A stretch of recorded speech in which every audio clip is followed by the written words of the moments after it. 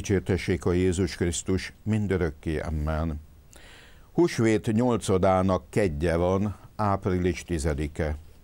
Szent János könyvéből származik az evangélium, a 20. fejezetből a 11-től a 18. versig. Húsvét vasárnap reggel Mária Magdolnak könnyezve állt Jézus sírjánál. Amint ott sírdogált, betekintett a szikla sírba, és ahol Jézus holteste feküdt, két fehér ruhába öltözött angyalt látott. Ott ültek, az egyik a fejnél, a másik a lábnál.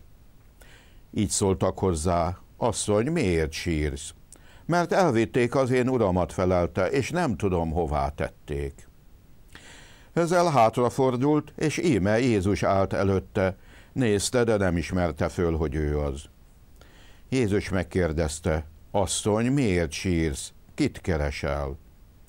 Mária Magdolna azt hitte, hogy a kertész az, és így válaszolt. Uram, ha te vitted el, mondd meg, hová tetted, hogy magammal vihessem. Jézus ezre megszólította Mária. Mária fölkiáltott, rabbóni, vagyis mester. Ne tartóztas, felelte Jézus. Még nem mentem föl az atyához. Te most menj testvéreimhez, és vigyél hírt nekik. Fölmegyek az én atyámhoz és a ti atyátokhoz, az én Istenemhez és a ti istenetekhez. Mária Magdolna elsietett, hírül vitte a tanítványoknak, láttam az urat, és elmondta, amit az úr üzent. Valami ellentétet láthatunk abban, hogy Magdolna lélek szakadva keresi az urat, a föltámadott pedig megjelenik neki. Aztán mégis azt mondja Magdolnának, amikor fölismerteti magát vele, hogy engedj. Van olyan fordítás is, amely szerint az Úr Jézus szava így hangzott, ne érints. Korábban engedte a lábát olajjal megkenni, halálában illatszerekkel készítette föl a temetésre, most pedig azt mondja, ne érints. Másról van itt szó. Szent Máté úgy beszéli el a föltámadottal való találkozást, hogy az asszonyok leborultak előtte, és átkarolták a lábát. Ez nyilván a hódolat és az örömgesztusa volt. Ezt tehette Magdolna is. Talán még világosabbá teszi ezt a jelenetet, ha egybevetjük az Ószövetségből az énekek énekének soraival. Ott ugyanis ezt olvassuk. Fölkelek, járom a várost, az utcáit és tereit, keresem, akit szeret a lelkem. Kerestem, de nem találtam. Ott jártak a várost járó őrök. Láttátok-e, akit szeret a lelkem? Alig, hogy elhagytam őket, megleltem, akit szeret a lelkem, megragadtam, el nem engedem, amíg be nem viszem anyám házába.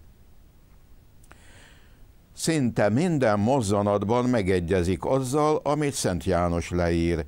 Keresés, a kertész megkérdezése, megtalálás és megragadás. Vagyis a föltámadott úgy jelenik meg, mint a boldogságot adó lelki vőlegény. De ez a boldogság még nem lehet teljes. Jézusnak az atyaházába kell fölmennie, a léleknek pedig anyja házába, vagyis a mindennapi életbe kell visszatérnie. Még nem jött el az egyesülés boldog pillanata. Mintha itt is visszhangoznék a 12 éves Jézus szava, amit édesanyjának mondott, atyám dolgaiban kell lennem. Ahogyan Jézus türelmesen kivárta az ő óráját, vagyis a megváltás szenvedéseit és a föltámadás örömét, dicsőségét, úgy kell az embernek is kivárnia földi élete kiteljesítésével a boldogság pillanatát, vagyis az üdvösséget. Már most rátalálhatunk persze a mi urunkra, megjelenik nekünk tanításában, a kenyér és a bor színében, vagy éppen egyházában. Újjonghatunk, leborulhatunk előtte, de igazán majd csak az atyai házba belépve ragadhatjuk meg őt.